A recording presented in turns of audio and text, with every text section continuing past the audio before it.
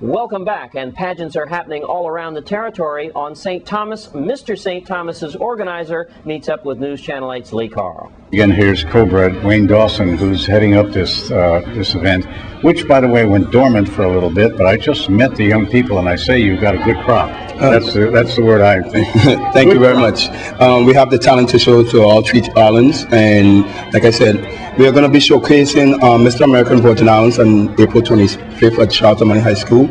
And I like to say, you know, it took a while, but we're definitely going to present something that the male um, gentlemen in the Virgin Islands can showcase their talent and once again give the Virgin Islands an opportunity to showcase our talent at Mr. American Virgin Islands from Mr. USA pageant. Well, best luck for you. I know you're with the Boy Scouts, and you, you've done a lot of work in the community. And uh, many times people always say, "Well, there's nothing to do." Well, here's something to do, right? Yes. Get ready to win. Now, if that person wins, what? What? what They will be um, leaving in three months prior to the show to head up to the States to compete for Mr. USA 2009. and where would that be, roughly? Um, right now, that hasn't been announced, but in the very near future, I'll be um, announcing that to the, um, the viewing public. You're, I always uh, admire you for your hard work, and I think this is a great idea, putting showcasing these young people and their talents, right? And Yes. I think that's important, as we did with you many years ago, right? Definitely. Been doing it for it. I was like to thank you um, to the St. Thomas Carnival Committee for um, giving me the honor this year to be in the parade marshal for the children parade. I, heard about that. Yes, I heard about thank that. you. Yes, it- it says what, what Wayne Dawson is, better known as Cobra.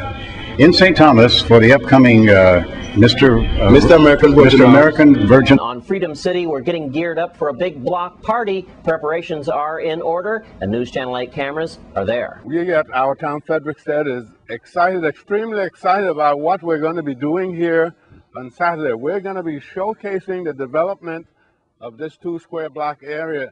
And what you see behind me is one of the projects that we're going to be talking about is the renovation and restoration of the old Governor Farrelly's boyhood home and the uh, Adam Thomas Music Shop and, and residence here. We are going to have here on Prince Street a, uh, a street fair, and we're inviting the entire public to come and look and see what we're going to be doing. I don't want to give too much details because we want you to come down here. We want you to come down here and see the enormous work that we've been doing. This is a, a public-private partnership, a partnership between private organizations and government agencies in order to revitalize and renovate and restore this area of the town of Frederiksted. This is a demonstration project, and we hope to transfer what we've done here to other uh, places in the town of Frederiksted. So please do come out on, on Saturday, the 28th of uh, February, this coming Saturday, to see what we're doing here. It's going to be a very exciting day. We're going to start at 11 o'clock and we're going to go till 5 o'clock. So you have a lot of time to come here to visit us and see what we're doing. T. Roy Augustin at the St. Croix Animal Welfare Center checks out the Pet of the Week. T. Roy.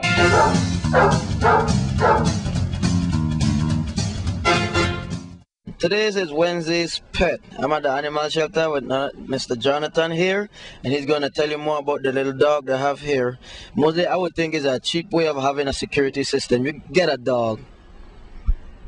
She's um, she's um, her name is Emma, and she's a half half breed pit bull, and she was a she's a stray, and she's a friendly dog.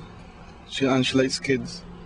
See that is good for kids. Get Emma. She she was a stray, which the animal shelter do pick up strays if you turn bring them in and whatnot. The name of the animal shelter? The six seven seven eight sixteen fifty. That's 778 1650. We're here with Emma. She's a half breed pet bull, so you know she'll make a great guard dog, fun with kids. Come here at the animal shelter located in Clifton Hill. I'm T Roy for News Channel.